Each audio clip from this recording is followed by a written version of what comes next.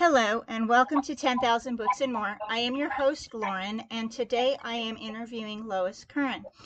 Before we get started, I would like to um, let you know that I do have bronchitis at the moment, so there will be times when I will be coughing or clearing my throat, and I apologize for that. There are also times you may hear the cats in the background. I will edit them out if possible. So again, today my, my guest is Miss Lois Curran, and she is the author of Deliberate Malice, which is the book of the month for the Homegrown Books Book of the Month Club. Miss Curran, thank you, and welcome to my show. Well, thank you for having me. So, um, tell us a little bit about yourself. All righty. Uh, I was born in Arkansas, but I spent my childhood in Salem, Oregon. Uh, we moved to Missouri when I was almost 16, and I've been here ever since. I'm a registered nurse, and I worked 44 plus years at our local health department until I retired a couple of years ago. Oh, wow. So, um, at what point did you decide to become an author, and, and what was your path to the publication? Okay, uh, I've always wanted to be a writer. Writing has always been my passion, but I just never made the time for it. However, I talked about it for years. My sons heard all their childhood years how I was going to write my novel someday. So about nine to ten years ago, uh, my sons are all grown by now. My son Lon gave me some books on how to write a novel. He had a little card in there, and it said, "Mom, it's time to write your book. So I read those books and I thought, if I'm going to do this, I need to just do it. So I sat down at the computer and I started writing my first novel. Oh, how fun! It's nice that you have that encouragement from your family. Yes, yes, they're very encouraging, and I appreciate that so much. Now, um, have you been able to incorporate your previous experiences from your job or your education into your writing? Oh, I sure have. This Deliberate Malice is a medical suspense thriller that uh, is based around uh, the main character is uh, the director of nursing at the local health department, and that's exactly what I was. So I, yes, I've incorporated that into the book. Okay, and is she based on you, or? I, Loosely. Loosely. I, I tell you what, yeah, she, she's loosely based on me in the sense that uh, she knows how to do public health. She knows how to do investigations of communicable diseases and stuff. So yes, loosely, it's me. All right. Well, I think that's that's wonderful. I really did enjoy your book, and as I noted in my review, um, I couldn't find anything about your book I didn't like. oh, thank you. Thank it you was. very much. It I was. appreciate that. It was. I I rarely do five stars. Um, because as as a writer myself, I'm very critical of things that I read, and I really enjoyed your writing style as well as all the information. Well, thank you. thank you very much. I appreciate that. Well, now I'm going to ask you, can you tell us a little bit about your book and um, the world that you've created? I sure can. Um, uh, like I said, Deliberate Malice is a, a medical suspense thriller based on a medical mishap that could actually happen. And I used real world details to create to create a credible story that could happen when a county is suddenly caught up in a polio crisis. The local health department and the CDC, Centers for Disease Control, they dive into an investigation trying to find out why an eradicated disease has shown its ugly head in just one county in one state in the United States. Yeah, and I'll tell you that that was uh, having a, a, slight medical background. Of course, I come in on the admin side. Um, that was that was actually a very terrifying thought. I, I have got a I I have a friend whose wife was much older and she had survived polio, so I kind of had a personal uh, experience with that. Yes, and a little background in the uh, one of the uh, all three books that my son had given me on how to write a novel. It gave uh, information on your first novel. You should write about something that you know about, Mhm. and also think what if. And actually, Deliberate Malice was my first novel. It's just been laying on the shelf, me working at, on it all these years. But that's what I did. I thought, what do I know about? I know about public health. I've done this for years. And then I thought, what if? And that polio thought came to me, and that's that's how it got started. Well, I found your book fascinating. Um, now, tell us about your main characters and what makes them tick. Okay, my main character is Lacey Bookman, and she's the director of nursing at the local health department. And her forte is the communicable disease investigations. She's conscientious and a detail oriented supervisor, and she gets a lot of satisfaction from completing her tasks well. She wants everything to be done, and she wants it to be done in, in order and get it taken care of. And she's conducted many uh, such investigations during her tenure as the director of nursing, but the polio cases have her in a dilemma. She knows that this disease should not be occurring, especially in well immunized children. And uh, Jake Bookman, Jacob, he's Lacey's husband, and he's a strong secondary character.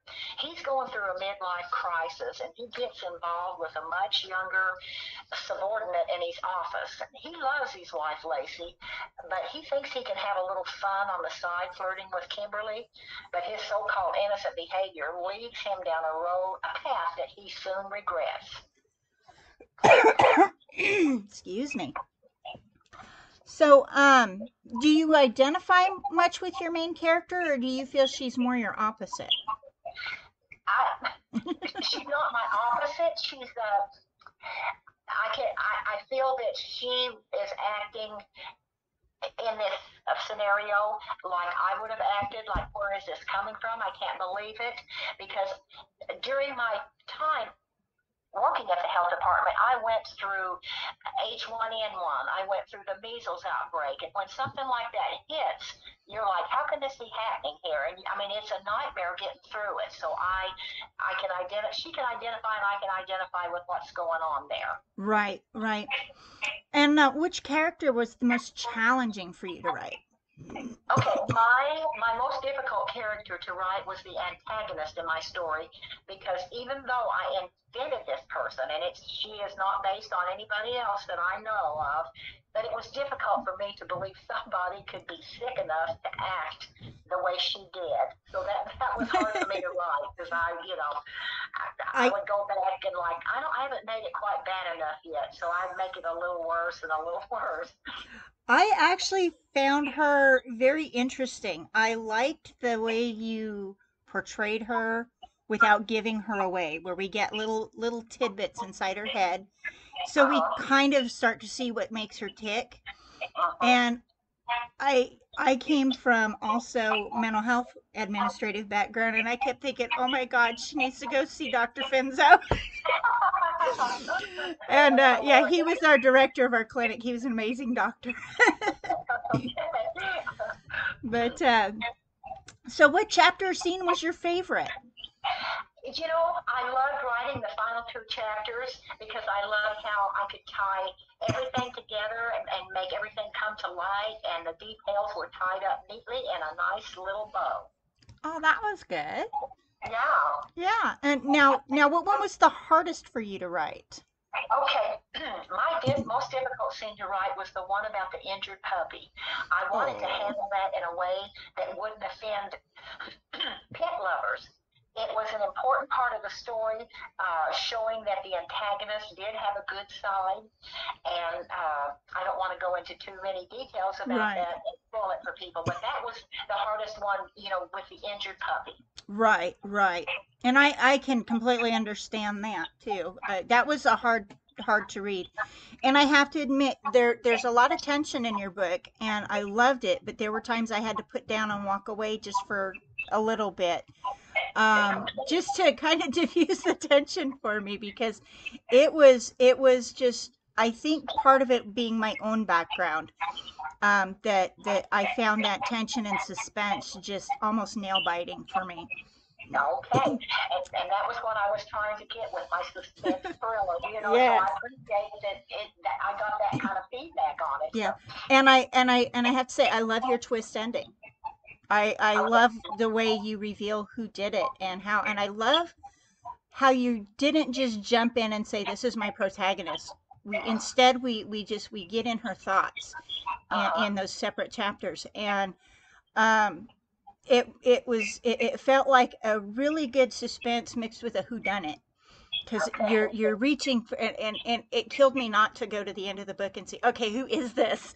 Because i spent the whole book thinking it's this person. No it's this person. And i have to say i never did guess i i never guessed the right person.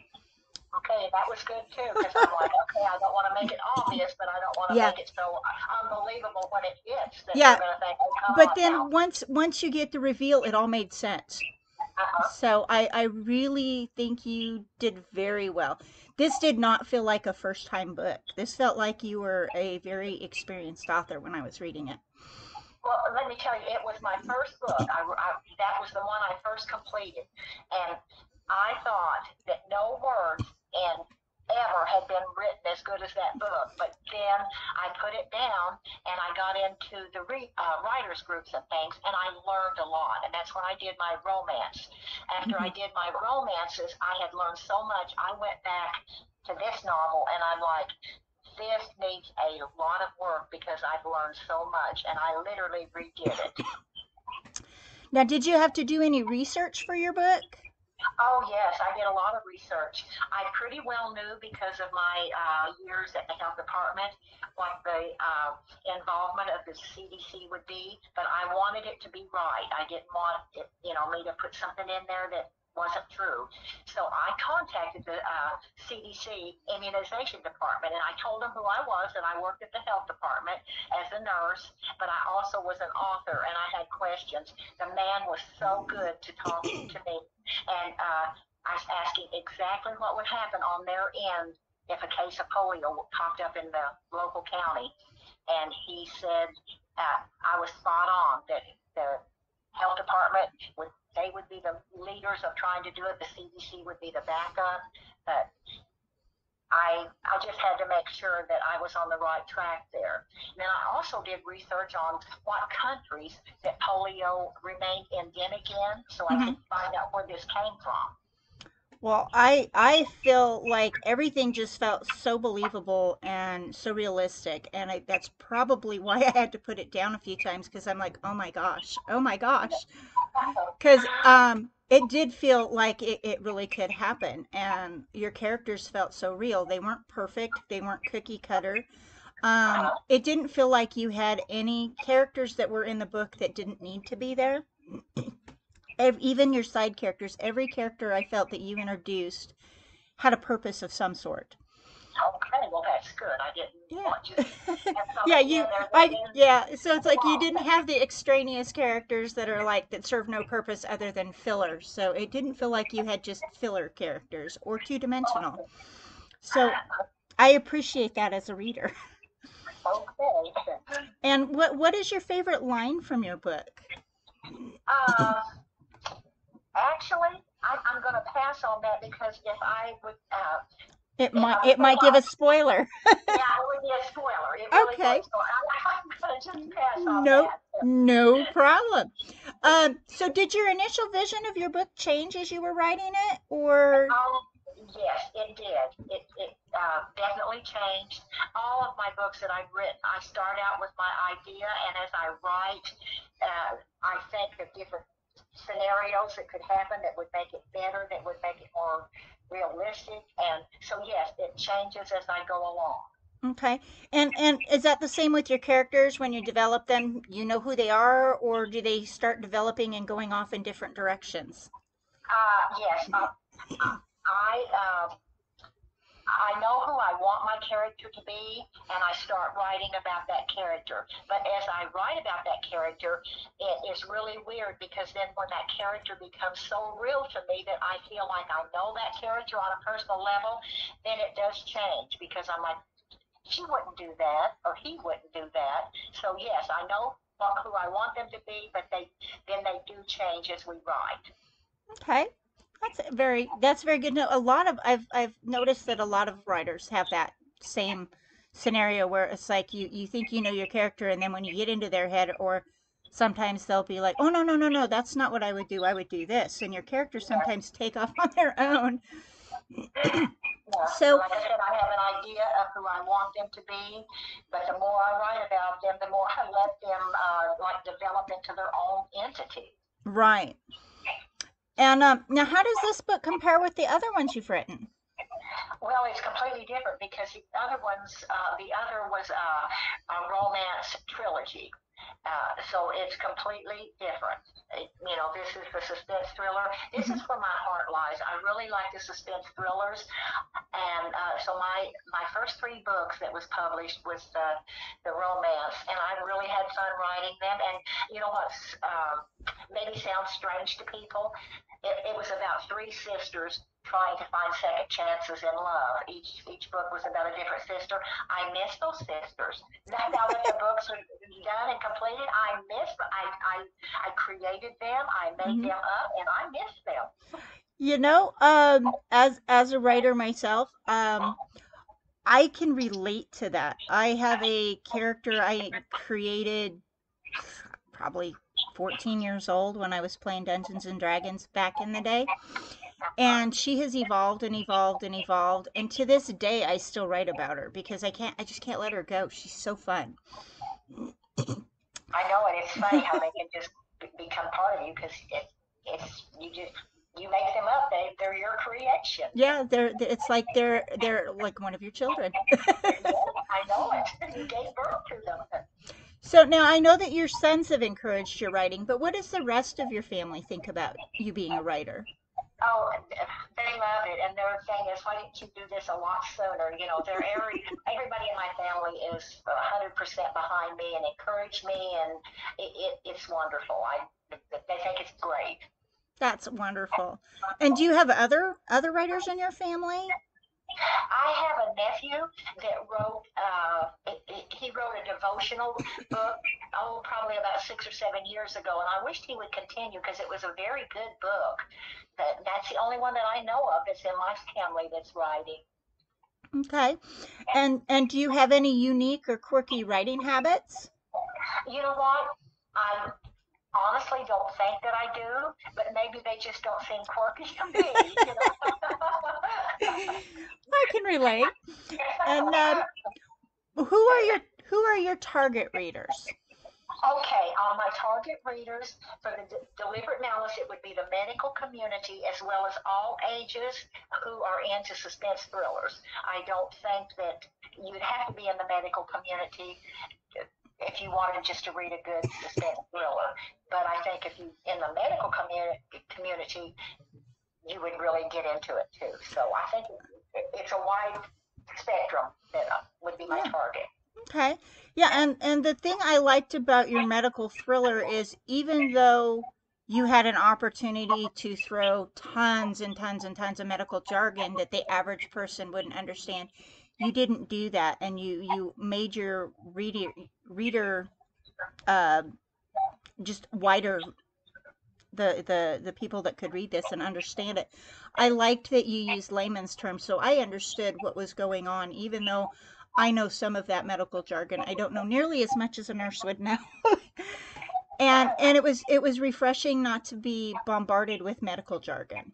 And And I tried to tell myself that when I was writing. I'm like, everybody that reads this is not going to be a nurse, so don't, you know, don't mhm. get too medical terms with them. Tell them what you're talking about. now, would you say being writer being a writer is it a gift or a curse for you? Okay, you know what? I feel it's a gift. It entails a lot of hard work and a lot of time. But you know what? It doesn't feel like work to me because I love every minute of it. And then the satisfaction that I experience when my stories start to make sense and it all pulls together, it makes it all worthwhile. I just, so to me, I, mm-hmm. I, oh, it's a total gift. And what was the most surprising thing you've learned since you started writing? The most surprising thing I learned when I started writing is how real my characters become to me. I mean, it's it's like I start out writing about a character, but then it's like they're part of me. They're my family. I know them. They know me. And that that's what surprised me is how involved I get with my characters. That's very interesting. Um, yeah, and and again, I can relate to that with, like I said, my character I created at 14. I just I have a hard time letting her go. And um, I I never would have thought that I could be so attached to somebody who isn't even real, but just a figment of imagination. But it happens. It happens a lot. Um, so have you received any memorable feedback or responses from your readers that particularly touched or surprised you? Uh, yes, I uh, I have been contacted by several people that are in the medical field uh, that I wasn't even aware that was going to be reading my book, and they contacted me to tell me how real it felt to them when they were reading it, and that that really made me feel good. That's nice. That's yeah, and and it, it kind of validates yourself as a writer, especially when you have people in medical field saying, "Oh my gosh, this was so good and so real." And I mean, you it's your baby when you put it out there, and it's kind of nice having that validation and and even just having a, a little small fan base. yes, I know, I know. It it, it makes you think, oh, because you know you wonder the whole time is are people going to like this book as much as I like it? hmm You know. And um, what do you enjoy most about writing? Oh, I just, I think the thing that I enjoy most about it is uh, creating the scenario and then putting the characters into it. That's, it's just like I'll have, I, I have an idea and I will play with that idea back and forth and I'm like, oh, that's not going to work. This isn't going to work. And I just keep playing with it and tossing it around till bam, I'm, I have it. And then when I know that I've got it, I know there's going to be a lot of changes down the road, but I know where I'm going with it. That's good. And um, what's been the most challenging part of writing for you? Oh, let me see. What has been the most, oh, the most challenging part of writing is to just get myself into my office, set my behind down in the book and I in the chair and write, whether I feel like it or not. You know, you can't just say, "Oh, I need to get in there. I need to do this." No, don't don't say that. Go do it. That's that's the hardest part. And once you sit down, even if you think, "I don't I don't know what I'm going to say today or or what I'm going to how I'm going to go with this today," once you start writing, things will come to you. Yeah, and and I agree. Um, I've I've done, you know, where you stare at a blank page and it can be intimidating. Sometimes you just need to close your eyes, take a deep breath, and open up a vein and put it out on the paper. I know it. And you know what I found? I, I have a lot of writer friends that tell me they hate to edit their work, but here's how I am. I, once I can get some words on the page, something to look at, I can go back and make it better. Once Mhm. I get something going, then I, I love going back and making that story better. That's that and that's good. Now, are are do you? I have to ask if you have my bad habit. When I start writing, I keep going back and editing before I finish the book. Are you as bad as me, or do you actually write out your draft and then go edit? No, I, I'm like you in the sense that I go back and edit, except our writing group had uh, what we call this month, it's called Jano, and our goal is to write 50,000 words in the month of Jano, uh, January. Mhm, And so I'm not going back and editing on this, I'm just writing. mhm. But any other time when I'm not into doing something like this, I do, I'll write a chapter or two and then I go back and I change it and then I go back. But this, I'm just going to write the words, and then when mhm. I'm done at the end of January, then I'll work on it. That's actually the way they tell us to do it, but I'm like, I can't leave it alone. I have to go back and pick at it. I know, I know, I know, and it, it's amazing because once you go back and pick at it, you can, you're like, look how much better that looks. Yes, yes, and it, it my my biggest thing is is when to stop editing. That's probably why I haven't finished many is because I can't stop editing. I need to stop editing and finish the book. I know, I know. It's, it's like I don't think you just have to make yourself finally stop Yeah. because it's, yeah, I know. I, I, I, find myself wanting to edit uh, it to death. So so how do you celebrate when you finish a book? Do you know what? I do not really celebrate. I just am so excited and glad that it's done, and I just start focusing on what I want to do next. There's that's a good way to do it. Uh-huh. Now, how many books total have you written and published? I have four books out there that's published, Mhm. and I have short stories in two anthologies that's published. Oh, nice. Yeah, I've got my three, uh, the trilogy romance, and then I've got uh, Deliberate Malice. hmm So that's four that's out there published. I'm excited about that. That's very exciting. And are you are you working on anything new right now, or anything that you're still have that's unpublished? Yes, I am working. I started another medical suspense thriller. This is the one that I'm working on in uh, in our little group for Jano. It's a medical suspense thriller, and I hope to have it finished and published by mid-year. Oh, how wonderful! I look Yeah. forward to, to reading it because I I really enjoyed this first one. Okay, so that's that's what I'm working on. There you go. So, um, what's the most valuable piece of advice you've ever been given about writing? the most valuable advice I've been given about writing is just sit down and do it. Because when I wrote my first book, well, not okay, not Deliberate Malice, but when I got my first romance book published, I thought, I don't have this in me. I don't have another idea. I don't know what to do. I don't know what. I don't think I can do it. And all of the ones in my writers group encouraged me and said, everybody thinks that. You just have to sit down and write. Just sit down and write. Don't don't second think about it. Just do it. So that was my that was my thing. You've got to just write. That's all you've got to do to get started. And do you have any other arts or or hobbies that you do besides writing? And do they ever tie into your writing? Uh, not not really. I scrapbook. I'm I'm really good at scrapbooking, and I'm into amateur photography. I do the pictures all the time, but Mhm. I, I don't know that that ties into my writing. I knit and crochet, but I haven't done that for years. So Okay. basically, writing is my only really artistic thing I do. I guess. Well, that's okay. So, um, can you tell us what your writing space looks like? Uh, I have my third bedroom. Uh, I just uh, had turned it into an office. It has a desk in there, and I've got a combination uh, a cork board and erase board that's up on the wall. And I write down who my characters are and their ages and stuff because believe it or not, you will forget down through the chapters how some of the things you've done. And the it's got a little uh, it looks just like a little sofa in there, but then it folds out into a single bed in case I need it for company. So that's that's where I work. And if I get tired of sitting at my desk, I just bring my laptop into my uh, recliner for a while. Oh, there you go. So, do you have uh, like a window above your desk that gives you a great view, or anything that in there inspires you?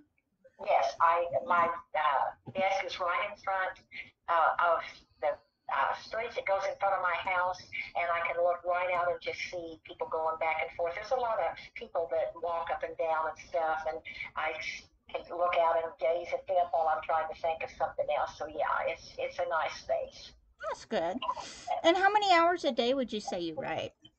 Oh gosh, it depends. With this Jano that I've been doing in January, I'm I'm probably writing uh six or seven hours, and if I'm not doing that, it's usually two to four. Uh, it it just depends on you know some some days like if I'm going back to edit, I might spend the whole day with just a a little coffee break and a lunch break in between. So it, Okay. it just depends. Okay. And so, do you you so I would assume when you're doing the long haul, you do most of the day. Um, when you're when you're not doing a writing marathon, what time of day do you usually do most of your writing?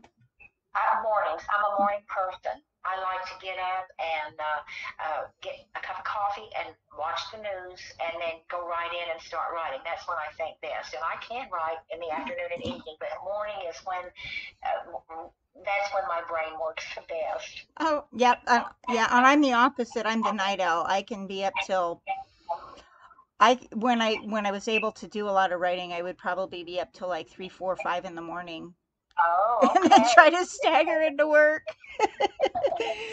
but uh, yeah, I've always been a, an odd night owl, so Okay. So, um, just curious how you come up with your character names. I tell you this, the new book that I am, uh, that I have just started, I went into my uh, Facebook page of my friends and I just went down through there and picked some names that I liked. That's, I did, yeah. That's interesting. I've I've never thought about doing it that way. yeah. I'm I'm bad. I actually have a spreadsheet full of names, like from all over the world, from fantasy, from everywhere. And I have this weird habit of walking graveyards to pick names, um, Oh, okay, reading that's a good headstones, and I I also read the phone book and movie credits because I find some really interesting. I like odd names and odd words and things like that. So. Right, yes. That, that gives me ideas because I know the more books I write, I'm going to run out of names. Right. now, um, you just right now you're just writing in the two genres of romance and um, the the suspense thrillers. Have you thought of writing in any other genres? No, I really have not. I, I really have not. And like I said, the suspense thriller is where my heart lies, but I'm not going to rule out like more romance, you know, because I, I had fun doing that too. Yeah, and that is, from what I understand, it's like the most popular genre in the world. So, I know it, it is. That's what everybody Yeah. keeps telling me, yes. and me personally, I'm not really fond of romance. And you know so- what's funny? But I also grew up with four brothers, so I'm not the girliest of girls. but I can read a well done one. I don't read romance, and this is what surprised me that I wrote romance. And my romance, I had a little different twist to it than most of them. You know what I Mhm. mean? I wanted to put some real life scenario things in it. But uh, yeah, because I, I don't, I am not a romance reader. I can write it better than I can read it. yeah, I think I would probably fall in that same category. Um, I just, uh, to me, it's a bit formulaic in the tropes and all that. And I'm not saying that people haven't done unique twists on it. It's just, I I grew up with four, three of my four brothers, and I'm used to like playing football and baseball in the street, jumping bikes, playing Oh, with. Hot Wheels cars, running Barbie over with Tonka trucks. I was I was not a very very feminine child. I was a delicate child because I was so tiny, but I was not a girly girl, and I'm still at my age of almost 54. I'm still not very girly. okay. So yeah, I was just like I just I some of some of the stuff in romance novels I just I just don't understand, and I, probably because of having brothers. Now, um, have you ever written anything that shocked you? Uh, yes, I, I, I think I have. I think it shocked me when uh, I wrote about uh, Jake and his little antics that he got into. I was shocked that I could think of things like that. You know what Mhm. I mean? I'm like, because that's not who I am. But I- Right. I, and I know this is odd when I'm doing my point of view characters. It's easier for me to write in the male point of view, and I think that's because I can make them do what I want them to do. There you go.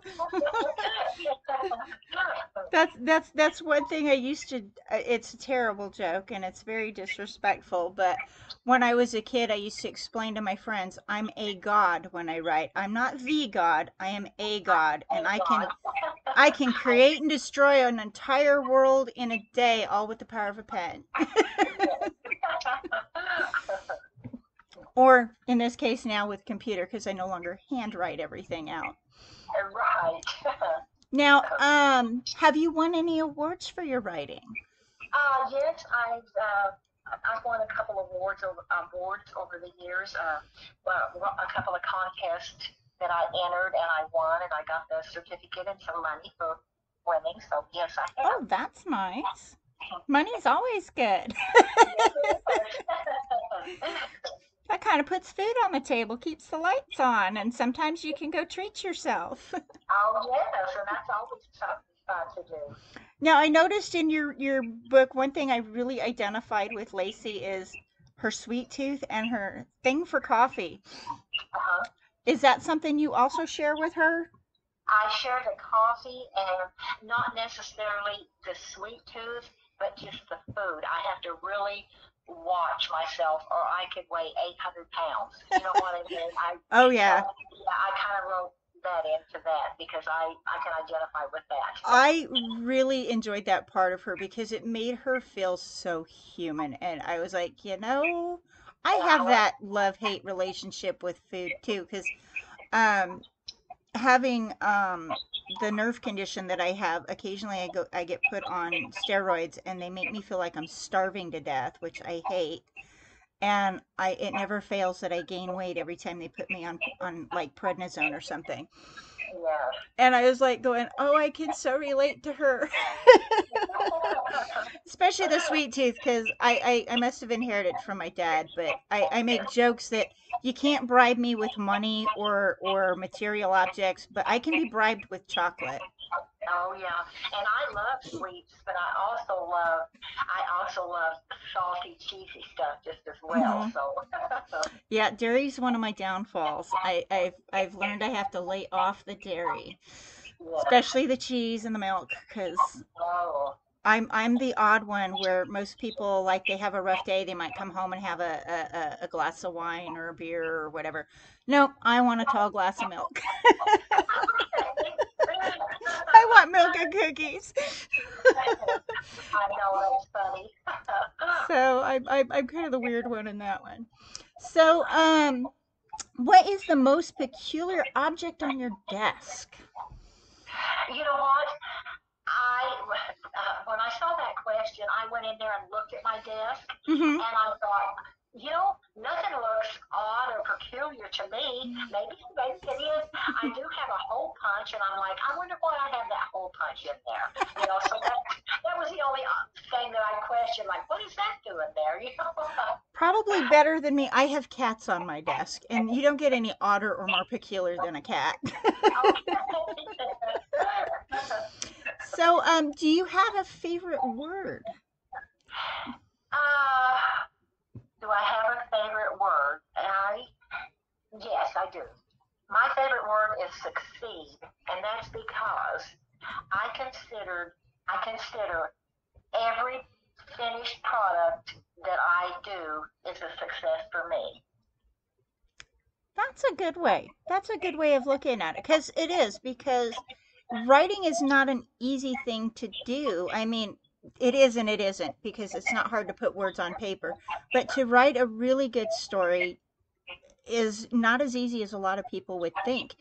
There's there's a lot that goes into it. There's a lot of time, there's a lot of tears, there's a lot of sweat, there's a lot of fear, wondering, you know, did I write this right? Are people going to take this wrong? Did I did I offend somebody? Um, and to be able to finish writing a book and then get it published is quite an accomplishment. And kudos to you because I'm still not brave enough to publish my writing. oh, you need to yes, I need to get that backbone. Um, so, yes. You know, uh, my son that, that gave me the books on how to write a novel, uh, when I was working on the first romance to get it published, I, I was talking to him and I said, I don't think this is going to be good enough. I don't think that I'm that great of a writer. And he said, Mom, if you didn't have it in you to write a novel, God wouldn't have you given you the desire to do it. And that encouraged me. that's a that's that's really wise of him. You know, because I I I believe that the ability to to to tell stories is is definitely a gift. And I think we're we're all given our talents and our purposes and I I believe we all have more than one purpose. So maybe one of your purposes is to share your stories. yes. You know, that sure encouraged me. And I thought, okay, because I thought, you know, he's got a point there. So I plugged on. That was four books ago. and you're still going and that's wonderful. yes. Um what what cultural value do you see in writing or reading or storytelling? Well, I know this probably sounds like a cliche, but I would say good always wins over evil. That would be the value that I see to put out there because Mhm. every book that I have done, it's like the good always wins over the evil. and you know, and that that gives everybody hope. And Yes, uh-huh.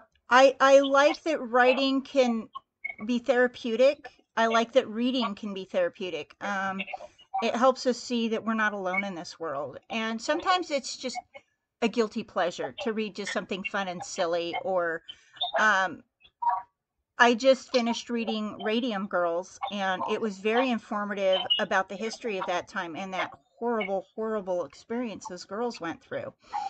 So you know, books do serve so many purposes, and I just feel sad that majority of people don't read nearly enough. Oh, I know it. I, I, I can't. I couldn't stand not being able to read. You know, I just reading is I love. I've always been an avid reader. Always. I just, and it's almost like if I don't have a book in the bullpen, I get nervous. Like, okay, what if I finish this and I don't have another one right handy to start?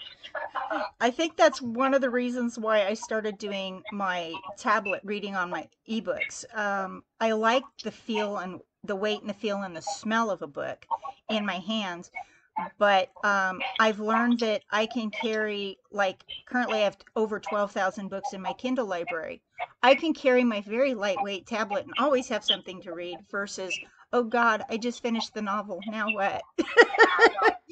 And I'm, getting more and more into into the Kindle. I am because, like you said, you've got them available. Yes. So, and I like the feel and the looks and the smell of a book, but more and more and more, I'm going to the Kindle. hmm I am too, and it's it's it's not about tangible versus digital. It, for me, it's just I I'm addicted to the written word, and wherever I can find written words, I want to read them. Yes, I agree. And now, um, how did you choose the first and last lines of your book? Okay. Well, the first lines, you know, they say you need to start with a hook. So Mhm. I did trial and error, trial and error, and trial and error till I found some first lines that I thought would be a good hook. And then on my last lines, I just chose the words that tied the loose ends together. Okay, that was good. Now, I do have a question for you that wasn't in my list, but um, your when I read your book, it almost played like a movie in my head. Um, I could genuinely see each character, each scene. Of course, um, being from um living in Springfield for as long as I did, for about 17 years before I moved further south to a tiny rural town. Um, I could just I could picture everything. Like when you talk about I forty four to sixty five to Sunshine, I'm like, I know that route. so if your book was made into a movie, um, what actors do you think you would like to play your characters if you had that choice? Oh gosh, if I had that choice, um, I think Lacey would be. Oh, Sandra Bullock. I, I don't know. And you know she- that's who I thought. Did you really? Okay. yes, Yeah, I. she's a little bit older. hmm Yeah, so that that's who I would picture doing doing Lacey, and I don't know who I would want to have to do um, the antagonist, and then Kimberly would be somebody young and uh, you know really. I don't know, really feisty. I can't, Mhm. I can't place who I want to have her either. I didn't really have anybody in my head other than saying I could see Lacey as Sandra Bullock, and first I don't know why, but just just her physicality, her mentality, just uh, that's who she reminded me of. I didn't really get a, a, a feel for other actors either in the other ones. I was just like, oh, Sandra Bullock would make a great Lacey. Yes, he would. That's, we need to let her know that. yes, she needs to. We need to like prod somebody in Hollywood and say, hey, read this. This would be a great, great movie for somebody, and she'd be awesome in the lead. Yes, he would. so, um, what are some books or authors you would recommend to our readers? oh gosh, I tell you what, I have um, I have so many people that I read and that that I like. Oh gosh. I, well, my m- number two, the two top ones on my list is Robin Cook and Tess Gerritsen. Uh, Now, I'm, they, yeah, you know, mhm. they're, they're, they're number one. And I love Lisa Scottoline and Lisa Gardner. I, I like their books. Uh, I like uh, the ones that's in my writers groups that they that are published. I like uh, Shirley King McCann, Sharon Keziah Holmes, Tyranny James, Susan King, and Kathleen Gonzi. They they write great. I love reading their books. And you know, like I said, I've got I've got other authors that I really like, and my list could go on and on forever if I tried to name all of them. But Robin Cook and Tess Gerritsen, uh, of course, you know who they are. Robin Cook is the Uh-huh. of the medical. Yes. thriller. And actually, Robin Cook is the last time I read a medical thriller. And I, I do like Robin Cook's writing style as well. And your writing reminded me a little bit of Robin's. Okay, and then Tess Gerritsen is the female Robin Cook. Mhm. You know, Yeah. She's, so I tho- those are my two. I just love that Robin Cook. When uh, years and years ago, when I read Coma, oh my gosh, I was sold on his. I've read every book that he has ever written. And Oh. same with Tess Gerritsen. That's awesome. Um, now, where can where can fans find your books? Uh, my books are on Amazon and Barnes and Noble, and uh, the Deliberate Malice is available as an audio book on Amazon and iTunes. Oh, wonderful. That's my first one that I did the uh, audio book on. So, so what was the audio process like? Did you get to choose who your reader was, or?